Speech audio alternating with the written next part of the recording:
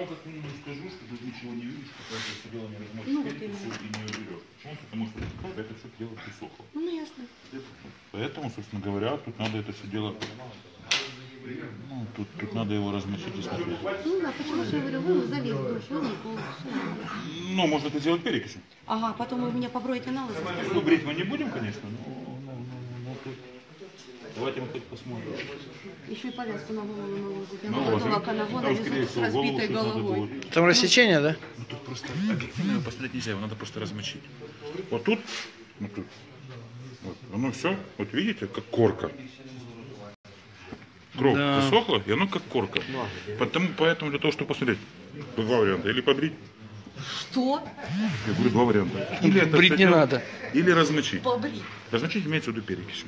Сейчас тут будет Можно обычным Майдан. физраствором. Начнут побрить. Ну, водой желательно с крана, ну, как минимум там открытая рана.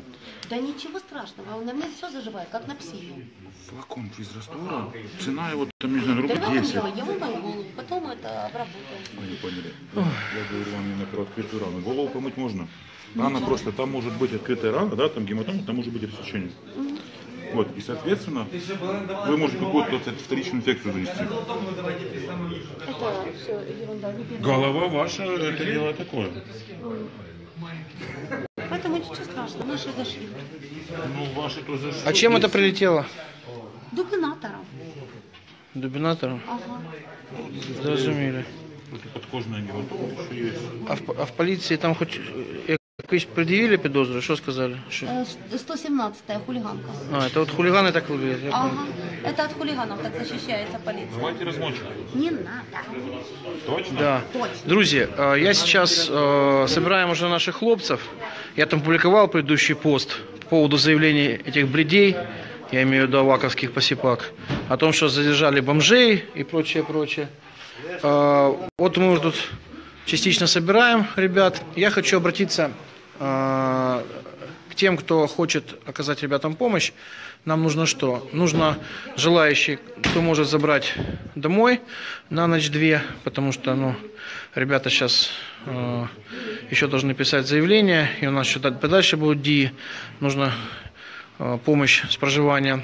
Э, Приходили сегодня люди, поддерживали там по питанию, по теплым вещам. Мы сейчас опубликуем, вон они уже машут рукой.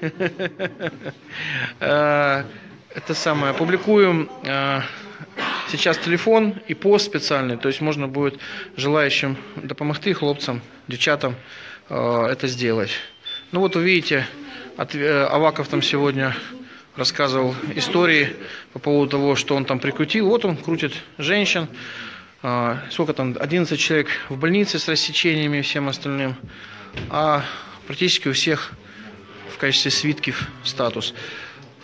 Тим, хто готов допомогти, е, будь ласка, зараз на страничке руха визволення буде телефон.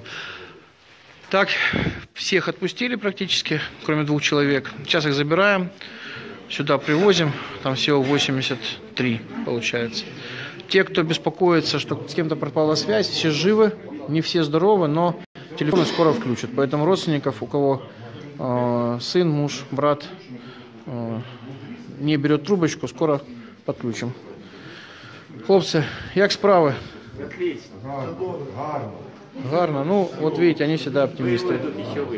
Да. Нас не сломають, не сломають. Дякую, хлопці, дякую.